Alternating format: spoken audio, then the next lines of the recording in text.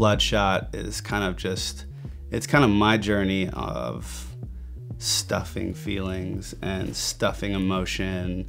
And, you know, when you kind of meet stress and you meet life, it just kind of tears a big hole on all the things that you stuffed. And you have a choice to either, you know, keep stuffing and sew up the hole or just let it all out. All the emotion, let out all the anger, let out all the whatever it is, and just feel it. That first lyric about focus on my insides, doctor says I'm all right. And it's just this like inner monologue of like constantly checking on yourself, going, Am I okay? It's like that anxiety feeling of panic and anxiety of just like, Am I all right? I don't, I don't know if I'm all right. And I guess Bloodshot just to me is just like an anthem for raging, just feeling those emotions and it being all right, just having a moment of wanting to smash something or just being okay with feeling something that's intense. I'm taking another hit to the backbone.